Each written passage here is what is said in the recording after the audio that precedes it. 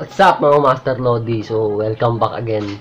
At ah, another video na naman po mga Master Lodi. At matagal po akong hindi nag-upload ng video dahil ah, medyo ah, wala tayong ah, internet. Mahina. Mahina ang internet natin. So ngayon, ah, for today's video mga Master Lodi, ang gagawin muna natin ay magbabasa muna ako ng mga comment section dito sa aking mga taga-subaybay, mga Master Lodi. So, pasensya na kasi medyo hindi ko nababasa yung mga text nyo. At sa mga gustong magtanong, ah, PM nyo na lang po ako sa aking Facebook. Ito po. At o kaya, pwede po kayong sumali sa aming group. Meron na po kaming 400, ah 400 na Master HVAC nakasali. So, ito po yung ah, page ng Master HVAC Technician. Kung gusto nyo pong sumali dyan, maka-join na lang po kayo. At uh, hindi nyo, wag na po ako diretso, diretso na po kayo sa Facebook. Search nyo lang po Master HVAC Technician. So maki-join lang po kayo doon at i-approve ko po kayo. Pwede po kayo mag-post doon at pwede kayong ah, humingi ng payo sa mga baguhan at sa mga matatagal na technician. So, ito, una, unang-una, so magbabasa ako ng message. Message. So, una, si Maku. 5 days ago na to, tinan mo. So, unang-una, si Maku. 5 days ago. Master, kapag in-on off ba ang aircon din in in ah? in off ba ang aircon din ba tanggalin sa saksakan unplug yun question mark so dito ang tanong ko ah ang sagot ko dito kahit So, mas maganda kung tanggalin nyo na rin sa saksakan. Pero kung may breaker naman, kunwari window type, may breaker siya. So, yung kasi yung talagang ah, required eh. Tapos standard na installation, may breaker. So, babaan nyo lang sa breaker pag di nyo naman gagamitin para makatipid sa kuryente. So, next, si Love Lovey, 5 days ago. Hi sir, okay lang ba? Kahit after lang linisin, ah, kahit filter lang linisin ko, mabigat kasi kung dura 1 HP eh. Mabigat talaga yan. Ah, Ma'am Love, no? So, pwede naman filter lang kada 2 weeks or 1 week filter cleaning. So, makakatulong po yan, makakatulong. Next, Edwin Victorio, 5 days ago rin to. Good PM sir, paano po pag hindi nagyayelo yung tube na yan? Pag nagpapawis lang po sir, ano po ba problema? Yun sir. So siguro yung tinatanong to yung sa evaporator. So possible okay yung aircon mo. Ah, pagka nagpapawis, no? Pag nagpapawis yung nagbubutil-butil. So okay po 'yun, master. Maganda 'yun, magandang lamig 'yun. Solid 'yun. Next, Cynthia Milo or, or Milo. Sir, sobrang ang vibration ng 1 HP carrier window type ko. Katulad niyang nililinis mo. Ngayon, kaya ang ngayon, kaya ang ingay, ano kaya ang dahilan? So possible to kapag malakas ang vibration sa, sa mismong bracket or sa mismong ah mismong cover. Kung hindi naman kung hindi naman sa mismong cover, pwede rin sa ano sa rubber mounting ng compressor. Karamihan ganun talaga. Pagka tumatagal ang unit, napupudpud 'yon sa sobrang vibrate. So, yun po yung dahilan nun. Pwede sa compressor, rubber mountain, pwede sa kaha, nagdidikit, ng copper tube, or sa vibration, malakas na talaga yung vibration. Kasi, kaya lumalakas yan dahil pudpud na yung rubber mountain niya. So, yun po yung may papaya ko. Kay Cynthia Milo, 3 days ago. So, Katrin Mangalindan. Hello po sir, paano kung yung compressor ng split type na kulin na sobrang ingay, as in sobrang ingay, di po makakatulog sa sobrang ingay. Salamat po. Makakapagsabi po kayo kung bakit. So possible po yan, kung talagang sobrang ingay na, pwede pong uh, compressor na po ang problema. No? So maingay na po yung compressor. Or pwede yung talagang hindi nyo po kasi masilip sa loob, baka po nagdidikit lang po sa loob or yung rubber mountain po yung sinabi ko din kanina. Pwede po yon rubber mountain. Kaya po dyan nagmumula yung vibrate ng aircon. So, pagka nag-vibrate kasi, wala ang rubber mountain mo, ah pudpud na. Kaya napupudpud yung ma- ang mga master dahil din sa vibration. ng aircon, ah, ng compressor. Kaya rin po siya napupudpod. At nagko-compress siya pababa. So, hindi pala pudpod, nako-compress siya pababa. Well. Kaya yun po yung dahilan. Nako-compress siya pababa. So, next, Sally Monsale. Sally Monsale. Sir, pwede ba yung humingi ng contact number mo para sa mga pagpapaservice? Thank you. Send mo sa akin email kung pwede. Monsale. Ah. Pwede po. Ito po yung contact number ko. Willing po ako mag-service around Binangonan, Rizal. Taytay, Angono. Pwede po ako, mga master. Pero kung malayo na, hindi na po ako makapag-service. Pero meron po akong meron po tayong mga technician dyan sa iba't ibang lugar. Kagaya po yan, yung mga nanonood dyan, ikaw, di ba, technician ka rin. So, technician yan master HVAC technician. So, pwede nyo pong ilagay yung pinaka, ah, ilalagay ko po diyan sa description sa baba yung aking contact number, yung Facebook, syempre messenger. Nagwawala ka tayong anak ko ah. So, kontakin nyo lang po ako dyan. At kung meron po kayong katanungan, diretso na po kayo dyan sa aking messenger. So, next, Justin Harley. Si Justin, kala ko si Justin Bieber. Justin Harley, mas one day ago. Master, paano po malaman kung ilang ton or ilang horsepower yung split type unit? Sa tons, alam ko, Ah, yung BTU ng unit mo, may meron kasi makikitang plate doon, plate. Tapos kung BTU ang kukunin, ah, kung horsepower ang kukunin mo, 9,000. 9,000 is equivalent of, of 1 HP. So yun po yung pagkakalam ko ha. Pag tons ng po po, pag tons po ang kukunin nyo, 12,000. Divide nyo po sa 12,000. Example, yung yung BTU nyo, 18,000. So, divide nyo po siya sa 9,000 kung, kung gusto nyo po makuha yung horsepower, no? Pag gusto nyo naman po makuha yung tons, 12,000. Divide nyo lang po. Next, Noron, 12 hours ago. So, bo, ano po kaya dahilan bakit maingay ang aircon? Eureka din po. So, possible po, baka po dun sa pinaglalagyan or sa compressor din po, rubber pad. Uh, rubber mountain. So, yun po yung dahilan na yun kapag maingay.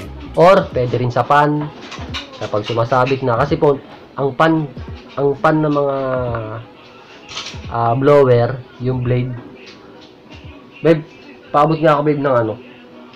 Ayun, ayun dyan yung blower ko. Ay, ba? Busy. Sige na. Ito sa bag lang. Oh, Wag. To. Yan. So, gan pag ganito ang blower nyo, karaniwan to sa LG, sa Carrier, ah, Panasonic. So, makikita nyo po, ganito yung pinaka-blower niya, no? Ito po ay nagbabago. Kapag katagalan, nawawala po yung align nito. Yung pinaka-ikot nito.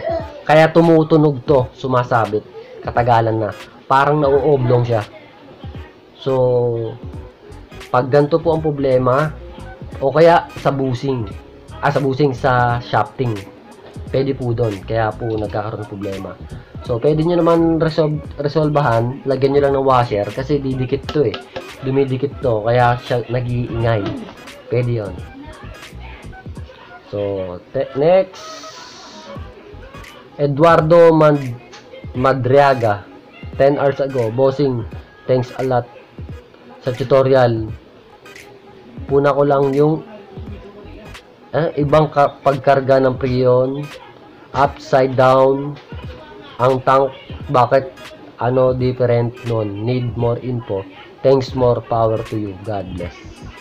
So, Eduardo Mandraga. So, thank you po.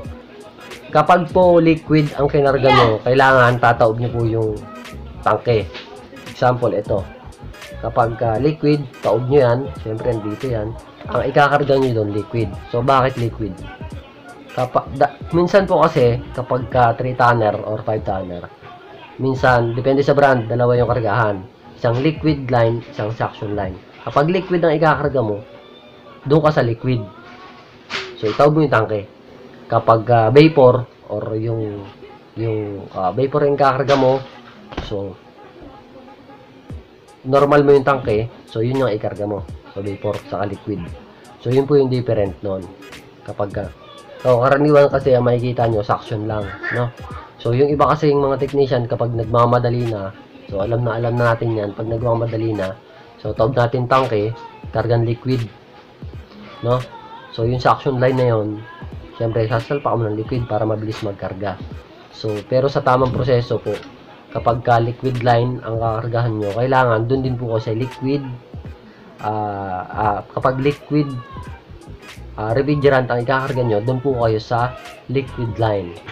So, yun po yung different nun. Next. Casey Tunet Lakaran. Casey Tunet Lakaran, 9 hours ago. Pre, good day. Yung LG dual inverter, split type ko, may lumalabas na tubig sa unit indoor. Bakit ganon? So, possible po, pagka ganon, depende kung saan ang labas ng tubig. So, kung dito sa bunganga, or dito sa may sa may bungad, sa may pinaka-blower, labasan ng hangin, no? Kapag dun po yung lumalabas yung tubig, so may problema po yung unit. So pagka dito po sa gilid, gilid-gilid lang or sa ilalim, pwede pong baradong barado na yung drain nyo or baka marumi na yung unit kaya nagtutubig na. So possible din po pagka dito sa ilalim, sa ilalim ng unit, may drain po kasi sa likod dyan. May drain sa likod. Baka po yun po ay barado na. So yun po yun. No? So salamat po. So next, Jay Sanding. Si Jay Sanding, 2 hours ago. Tanong ko lang po, yung AC kasi namin wala butas sa likod para ma-drain yung tubig. Ganun po ba talaga? Carrier Optima Green. Po, 0.5 HP. So, J Sanding. So, mga 0.5 po kasi na aircon, mga 0.5, 0.6, 0.8 na aircon 0.75. Pero karaniwan talaga 0.5. Pero depende pa rin po sa brand. Kapag po ang drain pad, ah, drain pad ba yun? Drain pad ay metal. Metal, may butas po yan. So, nilalagyan po ng butas yan. Kapag po ang drain pad ay plastic, kagaya po ng carrier, Optima, plastic po yan. So, pag plastic po, meron pong purpose yan. So, ginawa po talaga ng manufacturer dyan. Ang nangyayari po niyan, bababa po yung tubig dun sa evaporator, mag evaporate sisipsipin ng eba, ah, condenser coil. So, mainit po yun. nag evaporate po yun para po hindi siya ano. So, bakit po tumutulo? So, possible po, naipon na naipon, nagkalumot, kaya po tumulo, no? Tumutulo na. Pero pag ganun po, palinis nyo na po pagka ganun, tumutulo na. Or, dito na tumulo sa harapan. So, karaniwan kasi, ang window type natin, ah, pantay, di ba? So, kahit ipantay nyo yan, normal lang po yan. Kasi, yung pinakaloob nun, nakaklebe na yon Klebe na yon So, pag ginanon nyo pa yon ng konting-konti, so, pwede naman, no? So, karaniwan kasi, nakaganon, naka slant para ang tubig dire-diretso sa labas. Yun po yun sa mga malalaking unit na, yung mga 1 HP, 2 HP, 2.5 HP na mga mga window type. Pero, dinisenyo na po yon So, depende pa rin po sa brand. Inulit ko po. Ang unit po niyan ay naka-klebe na rin sa loob. Yung dadaluyan ng tubig. So, ganun po yon Kahit po sa split type, sa Daikin po ganyan. Sa Daikin, ang split type po, kiniklebe pa po natin, ah, kinukuha pa po natin kapag mag-install tayo, medyo binababaan pa natin gano'n, no? So, medyo mapangit po pagka hindi mo po na magandang, ano, pag tiningnan nyo sa diretsuhan, sa harap, medyo tabingi kapag ah, hindi maganda-ganda yun, no? Pero ang ginagawa namin mga technician, konting-konti lang yun, hindi mapupuna. So, pero sa Daik, hindi ko alam kung lahat ah, pero sa Daikin talaga, pantay lang. So, maparito man, dito ka kumuha ng drain or dito, so tutulo tutulo yan. So, hindi mo na kailangan i-klebe pa. So, ganun kalapit si Daikin. So, shout out kay Daikin. So, next. Bernard Dison. Boss, normal ba sa malakas ang mag-vibrate sa compressor? Ah, hindi po. So, kailangan nyo po yan ng ah, ipacheck no, sa technician at baka ang dami pong cause ng ganyan, ang dami pong tatanong. So, marami pong cause yung ganyan vibration. Ah, rubber pad, rubber mountain. So, yun po yung pinakos. Or may nag, ah, masyado na pong maluluwag yung tornilyo, pwede po yun. Maluluwag yung tornilyo. So, pwede nyo pong sikipan or mga lost thread na, pwede po yun. Sa katagalan ng unit na yun. So, thank you po, Bernard Dison. Next, PlayStation 2 Bigs. Kailangan bang palabasin ang kulay tanso ng linyada ng aircon ng Panasonic? Yung binubuksan ko, aircon ko, maitim yung mga linya. Hindi ko alam kung pintura o dumi. So dito, wala akong idea dito mga master. Linyada ng aircon. So kapag alam nyo na po na tanso na yung nakalabas or wala na pong talop, so mas delikado po yun. Kailangan po meron talop. At normal po sa loob ng control box ay magkaroon ng dumi, no? Yung mga sapot-sapot. So dito kay sir Hindi ko alam kung ano yung tinutukoy niya eh. So next tayo, next. Robin Dator, Master, ba't po may lumalabas na nabuo yelo sa loob ng AC namin. Saka may lumalabas na tubig po. Ano po kaya kapag ganun mahina na din ang buga ng lamig. Salamat po ulit. Sasagot God bless. Robin Dator. So ang sagot ko dito kapag may lumalabas na na tubig or tumutulo baka po talaga marumi na. Or barado na yung drain.